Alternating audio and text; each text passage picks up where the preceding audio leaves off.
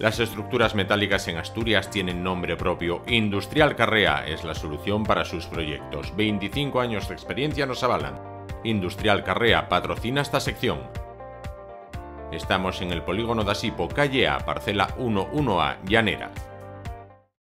Buenas noches, bienvenidos a Juego de Dos, Equipo y Afición, a la sección de los veteranos en esta jornada 13 en la que el Real Oviedo volvió a conseguir una victoria en casa a ver si somos capaces de hacer del Tartier un fortín y seguir en esta línea, esta progresión ascendente que llevamos.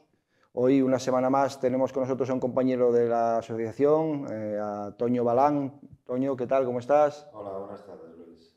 Bueno, pues eh, empezamos, como siempre, eh, comentando alguna cocina de, de la asociación. Este fin de semana en el partido de, del Real Oviedo. Eh, tuvimos eh, la presencia en el palco de los veteranos de la cocina económica, de las personas de la cocina económica que, habitualmente nos acompañan, a los que ayudamos en, eh, su cocer diario.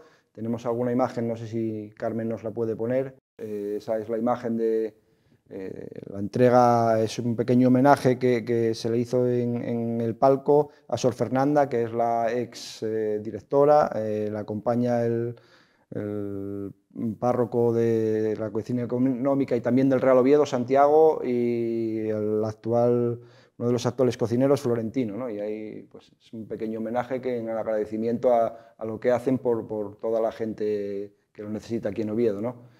Eh, aparte de esto, queríamos hacer también alusión a, un resultado de, la cantera, ¿no? porque yo, estuve presente en el partido y es eso, la victoria del Alevín contra el Sporting por tres goles a uno y sobre todo reflejar esto, ¿no? lo que es el sentimiento azul que nace desde muy pequeño, que, que se, lo tienes para toda la vida y, esta es una celebración de uno de los goles. ¿no? Eh, Aquí es eh, Agudín que, hizo un muy buen partido, igual que todo el equipo, y lo celebra besando el escudo, de lo que nos alegramos. ¿no? Es el sentimiento que tenemos todos y nos encanta verlo como nace desde tan pequeño. ¿no? Bueno, dicho esto, eh, vamos a ver un poquitín, a hablar un poquitín de, Balán. Eh, Balán es un amigo también nuestro, que personalmente mío, yo soy de Trubia, él también fuimos vecinos durante varios años, inició su, su etapa en el Real Juvencia de Trubia, luego pasó al, al Europa de Nava, eh, donde en un año en tercera división fue máximo goleador, ¿no, Toño? Sí, casi nada, ¿no? La verdad es que coincide que tiraba, yo tiraba los penaltis y, hubo un año que metí, metí 11 penaltis. Entonces, bueno. ¿Y alguna falta? Empaté con otro compañero en, en goles y alguna falta tengo tirado, sí, también, sí, bueno, pero Crispy no era tan atrevido como cuando me tirar faltas. En otros equipos sí que las tiraba, sí, alguna de... Bueno, pues ahí ya el Toño era un adelantado a su tiempo, de los que jugaba con el pie, tenía mucha calidad con los pies. Eh, ahí lo vemos en. Primero vimos una foto de, en tu etapa del Real Oviedo con la camiseta de Meiva típica de la publicidad de Fiat. Aquí te vemos con Jorge de Alessandro, ¿no? Sí, sí, eso es en, el, en Salamanca, en el estadio, en el Mántico. Fue un partido que lógicamente estaba de, reserva y le pedí hacer una foto porque, bueno, de aquella de Alessandro pues era como, como una, figura, ¿no? Y de hecho, bueno, sí que eh, marcó una época aquí en España porque era grandote, era un portero así típico grande y, buen portero. Y bueno, pues muy amablemente pues hizo una foto conmigo, que a mí me hizo bastante ilusión porque, bueno, él era famoso. Yo todavía no, bueno, todavía ni, ni lo fui nunca mucho, pero pero vamos, que yo pretendía eso, pues hacer una foto con un figura, ¿no? Pues seguro que si la ve de Alessandro ahora la guarda la foto. Dice, hostia, una foto con Balán, seguro que le presta a Alessandro. Hombre, le sorprendería, ¿no? Le sorprendería ver, ver una foto, supongo, por verse tan joven y tan, tan musculoso, ¿no? O sea, que está, se ve que está muy cachas el tipo.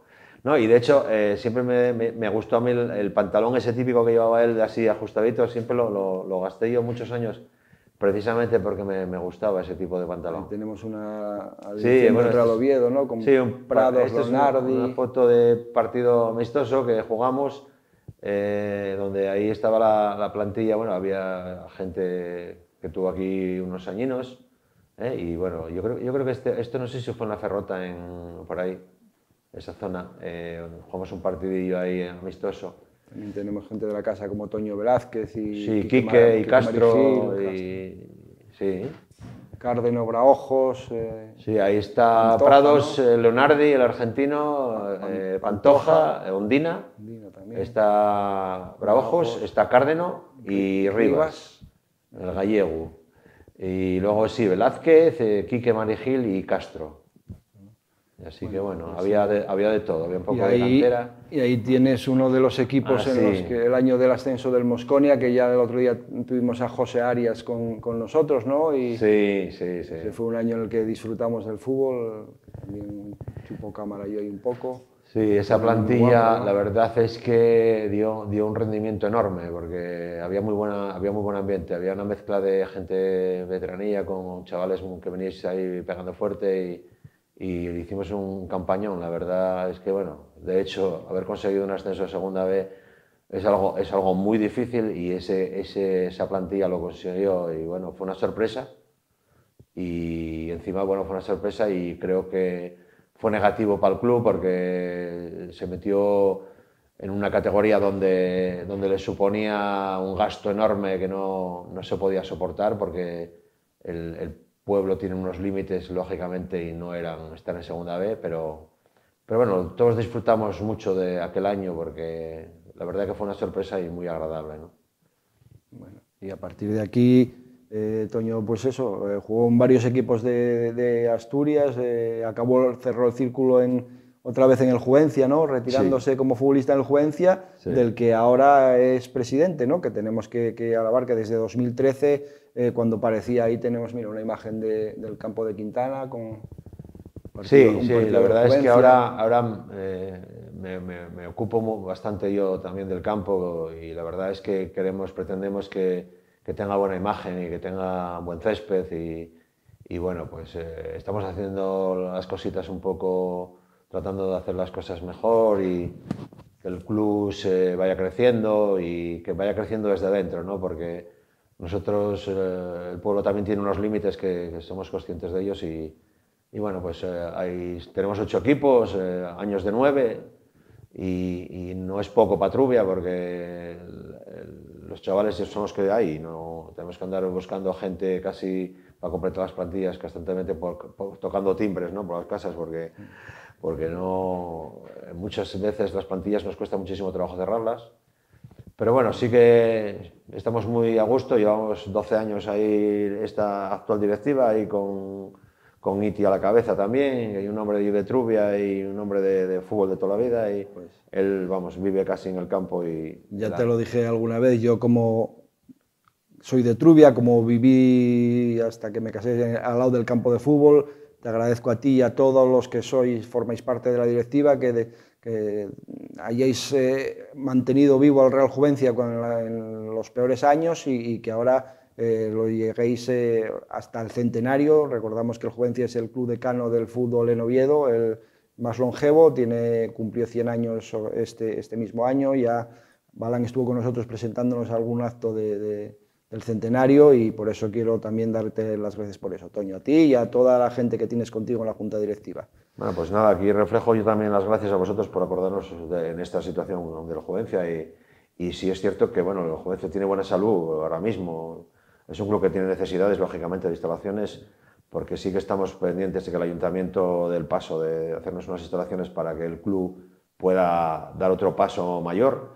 Y nos alegra muchísimo de que tenga salud y que siga vivo y, y, si, Patrubia significa mucho que el club exista y ahí estamos, ¿no? tirando de él y esperemos que venga gente que tire también después de nosotros. Bueno, de aquí comentar un poquitín que yo siempre con la gente que, me acompaña, ¿no? siempre hablamos de que lo más guapo del fútbol es jugarlo. eh, en tu época de futbolista, Toño, pues eh, eh, lo disfrutaste. ¿Tienes alguna anécdota que nos quieras contar, alguna cosa? Yo, bueno, yo me recuerdo que no sé si al final Carlos Muñoz te llegó a dar las gracias por aquel gol que, que te metió, ¿no? Que siempre me dijiste, eh, Carlos fichó por el Oviedo por- porque, bueno, por- Sí, sí, porque bueno, yo le, sí. le eché una mano, ¿no? Como, Sí, como es que yo, yo debuté con el Oviedo en el Ministadi, ¿eh? un Barcelona Atlético Real Oviedo, ¿eh? esto en el año, en el año 83.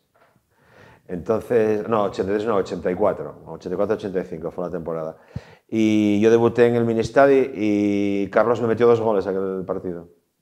Entonces, Yo no estuve, no estuve bien, porque además estaba muy nervioso, muy nervioso, lógicamente, y no estuve bien, pero luego resulta que, claro, Carlos nos vino al Oviedo y resultó ser lo que fue Carlos, ¿no? que fue un crack en el Oviedo. Entonces, sí, siempre le digo que nunca me lo agradeció, ¿no?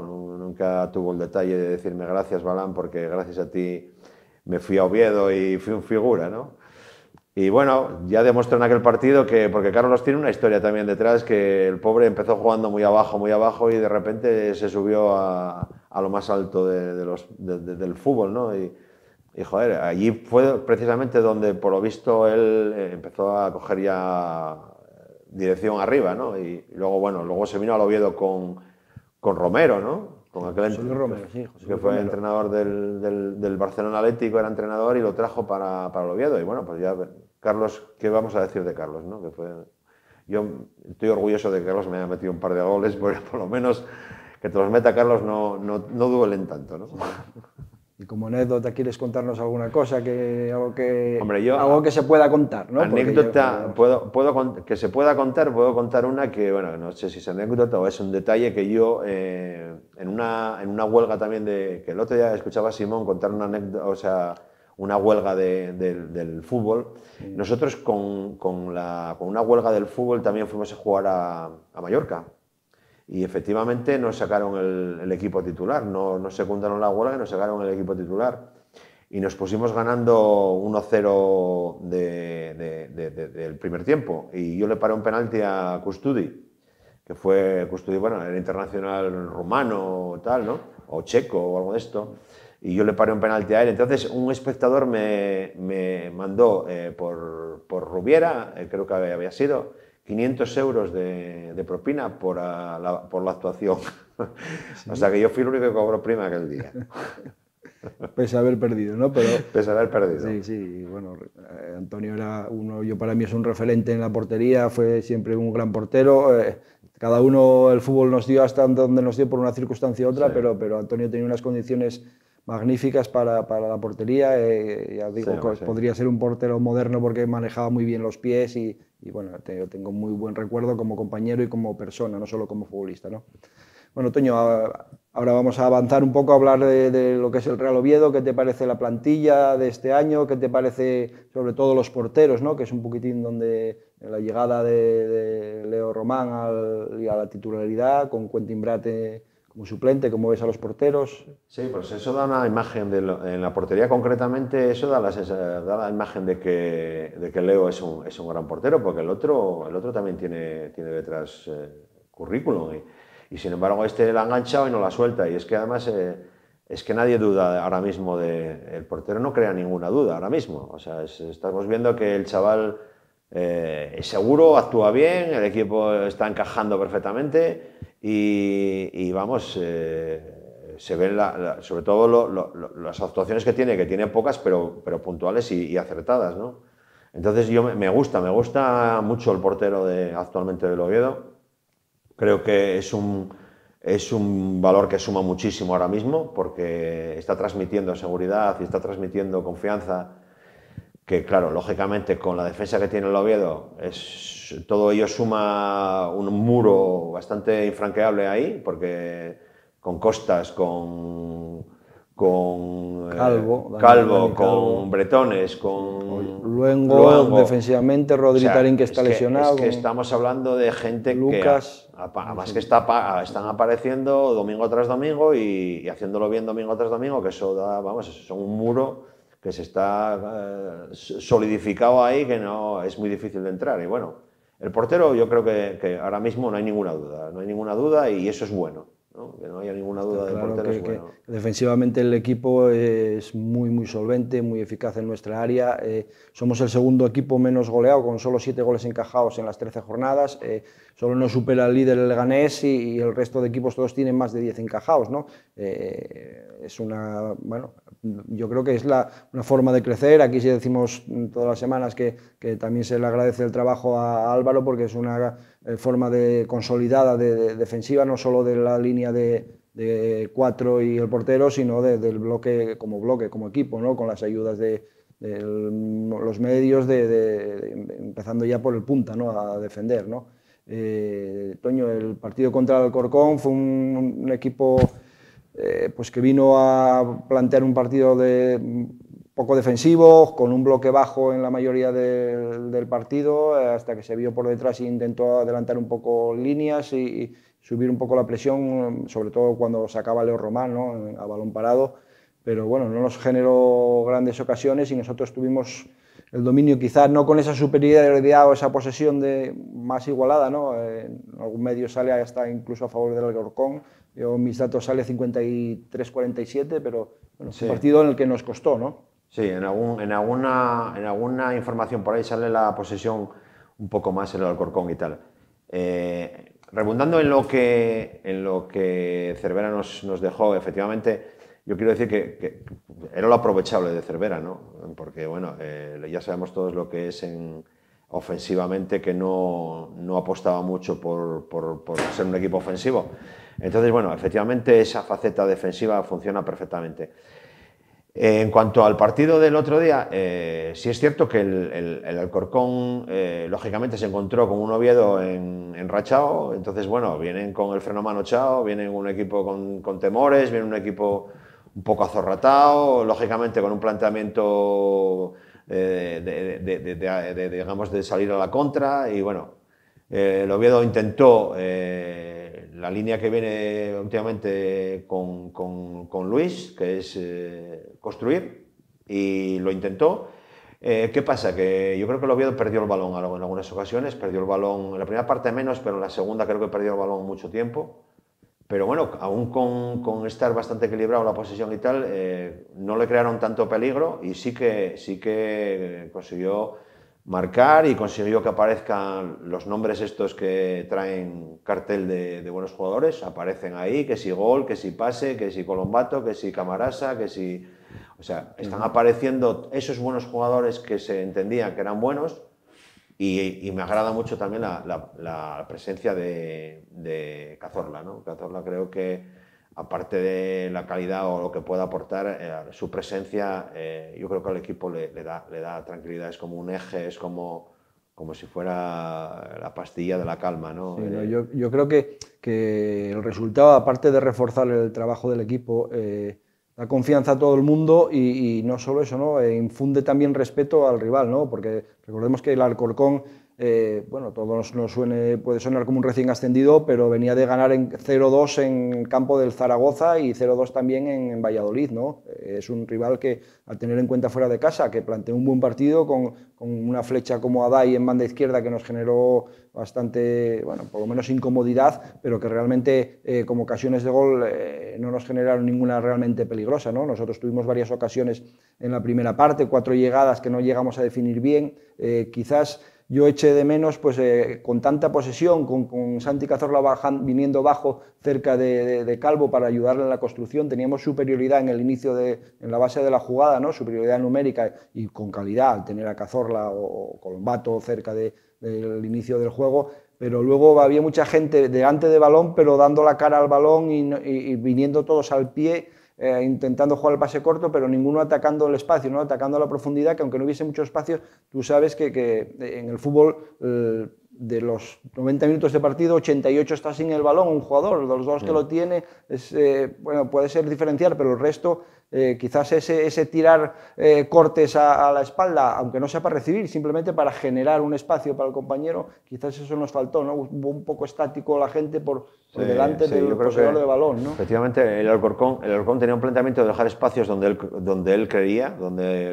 donde me imagino que el entrenador planteó dejar espacios o dejar el balón, jugarlo donde, donde él consideraba que no le iban a crear peligro y que el Oviedo entrase por las vías donde lo estaban esperando, ¿no? Pero yo pienso que el planteamiento no era, no era malo, era un planteamiento, según figuraban, en un 3-1-3-1 o algo de esto, 3-3-6 y 2-8 y no sé, ponían como, como cuatro líneas, ¿no? De defensivo y, y uno ahí que estaba guardado detrás de cada línea y tal, pero se veía como que, como que quería efectivamente eh, plantearle al Oviedo, dejarle espacios donde, donde el Oviedo no le iba a crear peligro, pero sin embargo, ¿qué pasa? Que si los goles, eh, casi puede considerarse que fueron a balón parado, ¿no? Eh, los dos, porque...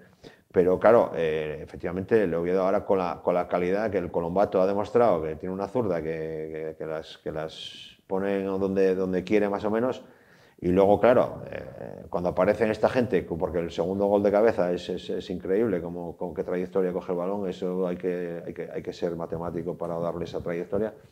Y pienso que, bueno, pues eh, con todos esos aciertos que están acumulando eh, estos buenos jugadores, pues eso suma que llegan las victorias y llegan los goles, aparecen ellos y está todo el mundo encantado. Sí, sí, se nota el buen pie de Colombato, también Santi Cazorla tiene muy buen pie, Colombato la golpea fuerte, es, eh, en la base defensiva sí. es un jugador muy importante, eh, lo está demostrando día a día, que el centro del campo que tenemos es eh, yo creo que el mejor de la categoría, ¿no? de, hablamos de jugadores como Seoane que también se está encontrando, encontró el gol, eh, Camarasa, que salió y también encontró el gol, que aportó desde el banquillo, con Santi Cazorla, con Colombato, con Luismi, con Jimmy, Cales Cardero, y yo tenemos o sea, dónde escoger de verdad y, por eso eh, hablamos siempre también de que, de que encaja la filosofía de Luis Carrión con, con el juego, ¿no?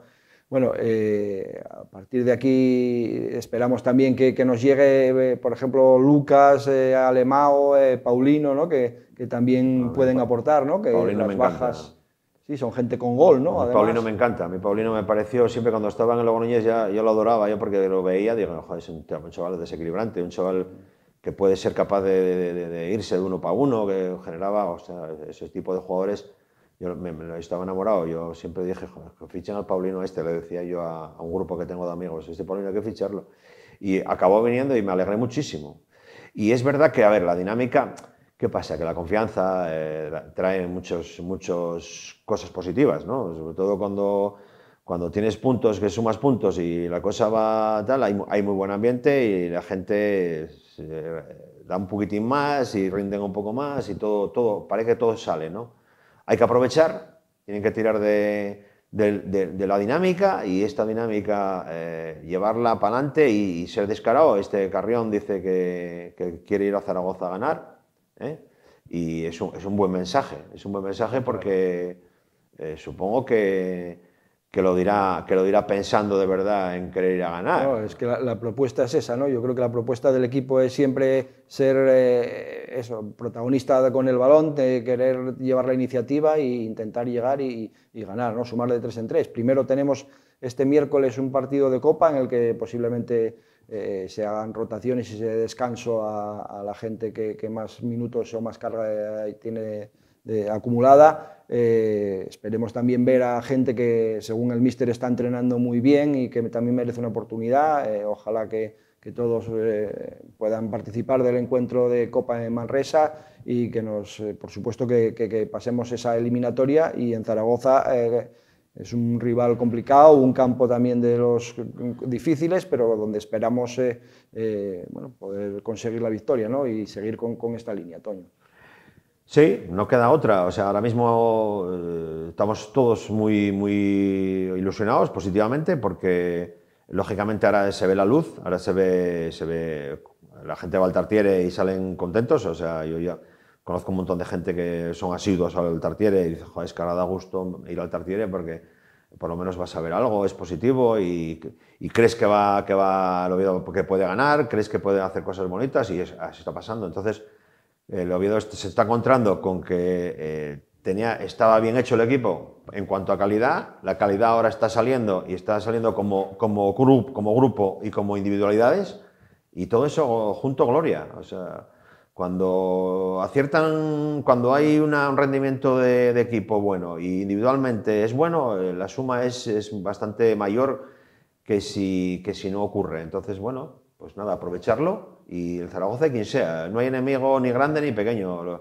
El Oviedo tiene que, tiene que, lógicamente, pensar que es un equipo grande, porque lo es, y tiene que ganar en cualquier lado. Entonces, bueno, pues se va a Zaragoza es difícil, ¿eh? O sea, no vamos a decir que vamos a pasearnos ahora porque no es, no es viable, pero, pero bueno, que seguro que el Zaragoza está preocupado por la visita del Oviedo. Seguro. Bueno, pues eh, hasta aquí llegamos. Eh, agradecer a Toño Balán su presencia con nosotros, que también es de los que se deja liar y, viene siempre que se lo pido. Se lo agradezco mucho a él y, y, bueno, eh, a contar contigo más adelante si, si puedes, Toño, gracias por todo. Siempre que me llames, siempre voy a estar, si es posible, vamos, si no tengo nada urgente. Yo creo que para, para, que tengo que agradecértelo yo. Nosotros tenemos que estar encantados de venir aquí y de que nos des la oportunidad de, de dar nuestra opinión y que nos ve la gente en esta situación y la verdad es que nos mantenemos vivos con esto, ¿no? Y me encanta. Gracias a ti y cuando quieras.